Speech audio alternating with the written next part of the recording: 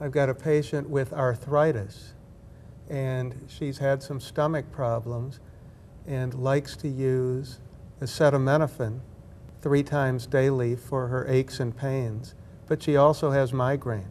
Is she at high risk to get this rebound headache syndrome? Well, that's actually been shown in a study that looked at an arthritis clinic where patients were using daily analgesics. And they found that some of those patients developed chronic daily headache. And when they looked at those patients, they found that they had previous history of migraine.